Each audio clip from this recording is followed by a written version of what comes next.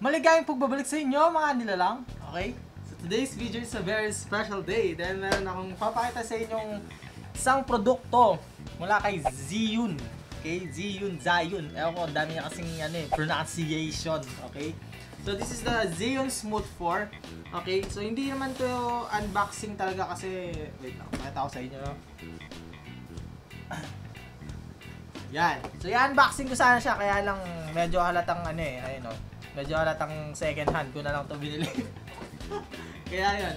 Okay, so this is actually second hand guys. Nabili ko to guys dun sa ano ah, dun sa grupo ulit ng Mobile Filmmaking Philippines ng Facebook, face, Facebook group siya. So kung hindi pa kayo member doon, I suggest guys na try nyong mag-join doon and marami kayong matututunan and marami kayong mabibili to. tulad nito, okay? Simulan na natin.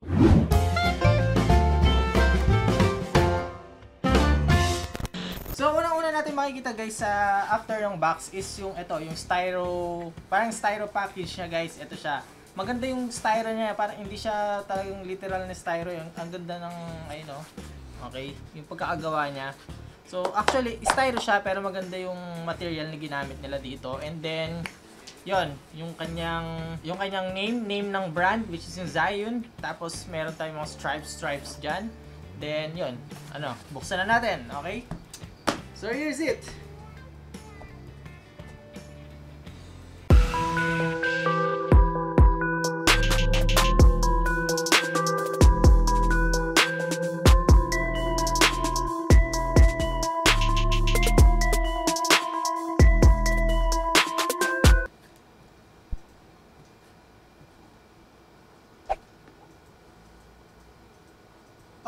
Maraming salamat ulit kay AD, no? Siya yung nagbenta sa akin ito. And uh, by the way, huwag ka mag-alala AD, no? Ad or AD, ad. so, huwag ka mag-alala ad kasi yung smooth form mo is lalaspagin natin to. Unang-una natin makikita guys, yan. Okay, so ito na yon Yung mismong gimbal, tapos yung uh, mini tripod, and then yung USB Type-C na cable. Okay guys, ayan siya. USB Type-C. Very helpful to kapag nag-ano tayo, time-lapse, ganyan. Using our gimbal. So good job kay Xeon dahil uh, nagbigay sila ng ng free stand, okay? Free tripod for our Xeon gimbal. Dahil kung wala ito, mahihirapan tayo makagawa ng mga magagandang mga time-lapse and mga iba pang mga laps. Alright. So yung meron ako ngayon is black. Alam ko dalawa yung lumabas nito, white and black. I'm not sure, okay? Hindi ako sigurado dyan, pero yung nasa akin ngayon is black. Ngayon, kakabit na muna natin itong uh, stand niya para makita niyo yung para makita niyo siya na nakatayo. Okay, by the way, kaya ako bumili ng gimbal is meron kaming project ni Kuya sa linggo and uh, sana maging successful yun, no? And papatunayan ko na rin sa inyo, no? Papatunayan ko sa inyo na hindi mo kailangan ng magagandang camera, okay? Para makakuha ng mga magagandang cinematic footages, alright? Mga, nagalaw, wait lang. Yan. Na mga, mga cinematic looks, okay? Ito, gagamitin lang natin is phone. Okay, so abangan nyo po yan, no? Sa linggo na yan, linggo. Ngayong linggo na to. Okay, okay. So, konting explanation o quick uh, specification ng uh, gimbal na to. So, this is the, the 3-axis, no? 3-axis gimbal. So, meron tayong pan. Yan, pan. Tapos merong tilt. And yung roll na tinatawag. No? Yung, yung roll, ganon. Roll. Tapos, um, it comes with a 2000 milliamp battery, guys. Uh, it can run up to 12 hours, no? Uh, 12 hours of, uh, yun nga, filming. So, 12 hours na dire-diretso, pwede siya. Actually guys, simula na bili ko to, hindi ko pa siya china-charge.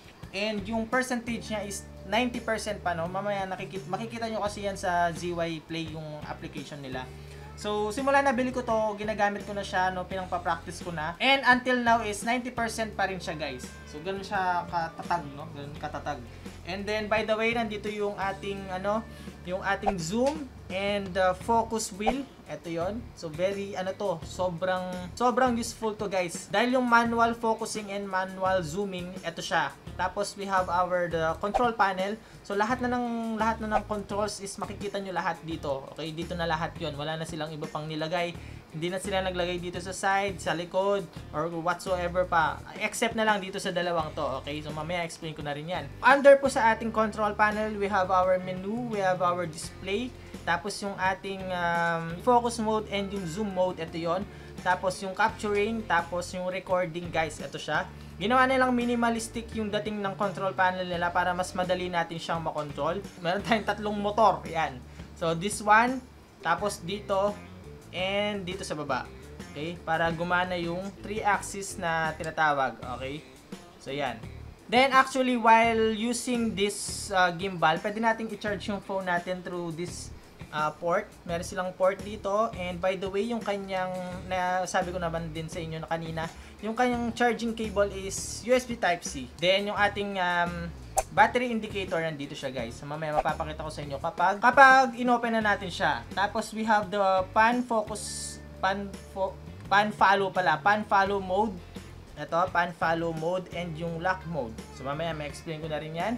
So explain ko na nga, sige na nga. Okay guys, so bago natin gamitin itong gimbal, make sure na yung balance ng phone natin dito is correct bago natin siya i-on. Okay? So yun lang yon. So kapag nagkakabit tayo, chill lang, ganyan. Chill-chill lang tayo, no? Mga nila lang. So, meron silang application dito, guys. Yan yung, um, ito, ZY Play. So, mada-download nyo naman siya.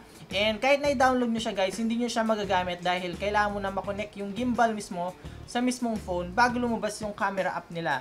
Okay, guys? So, kahit i-download nyo siya nang wala kayong gimbal, hindi nyo siya magagamit. So, kung makikita nyo, medyo slanted yung phone natin sa mismong gimbal. So, dapat ang lalabas, dapat ganyan siya.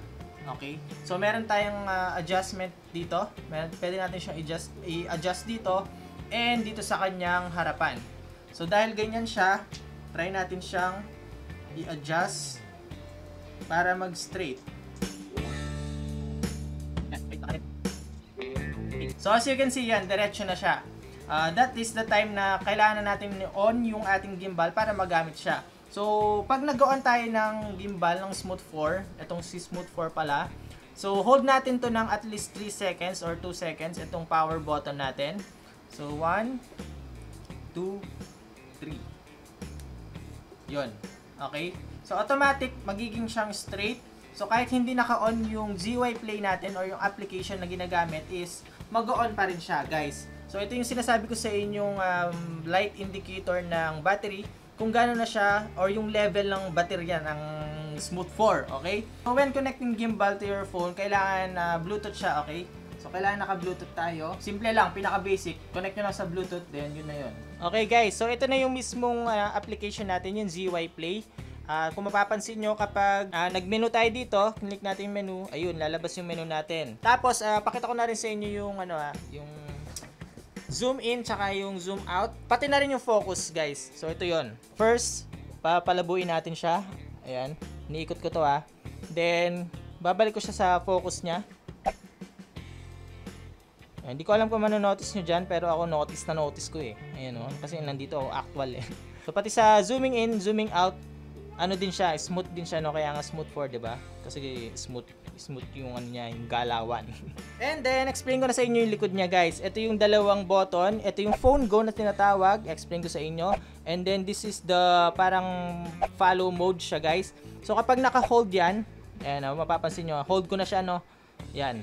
Okay? So ibig sabihin kung ano yung yan, kung ano yung movement ng gimbal, sinusundan niya while holding this button. Ayan guys. Okay? Then, the phone go, itong taas naman, ito yung papabilisin niya yung, yung galaw. Okay? Galaw ng mismong gimbal. So, maganda to for, ano guys, maganda siya for, tawag doon, um, transition, okay? Then, kapag kinlik natin, double click natin itong baba, gagawin niya is, babalik siya sa mismong default uh, position ng gimbal. Ayan, double click, ayun. So, bumalik na siya dun sa dati niyang position.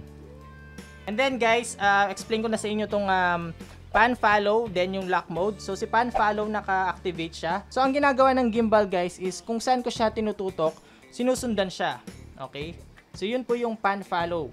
So pag binaba ko yan, yun lang pagkakaiba ng button dito sa likod, tsaka itong pan follow.